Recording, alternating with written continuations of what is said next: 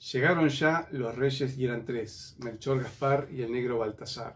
A y miel le llevarán y un poncho blanco de alpaca real.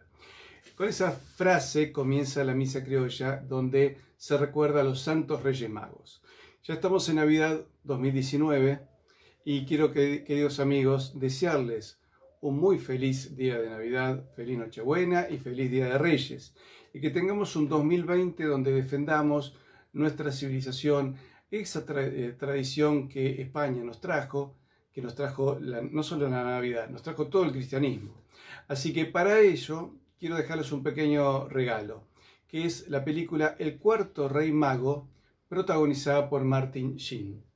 Esta película de 1985 realmente es muy linda, es muy interesante y relata una leyenda, que además de los tres reyes magos que conocemos, habría habido un cuarto que llevaba otro tipo de regalos, algunas piedras preciosas, vino y aceite, y que no llega nunca. ¿Por qué?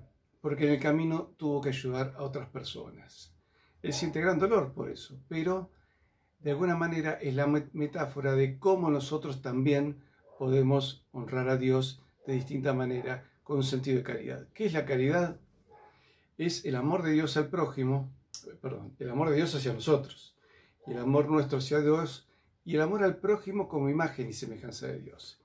Por eso, queridos amigos, recordemos que todas las noches eh, anteriores al 6 de enero, los santos reyes magos se levantan de su descanso en la Catedral de Colonia, en Alemania, y recorren todo el mundo buscando aquellos corazones buenos y nobles que decidieron honrar en un pesebre de Belén al Rey de Reyes. Amigos míos, disfruten de esta película y a todos eh, les comento que además eh, toda la revista que hicimos especialmente para Navidad la he donado a comunidadhispanista.com para que todos ustedes entren ahí y de alguna manera colaboren con ese portal, que es un portal que va a ser la vitrina de todo el pensamiento hispanista.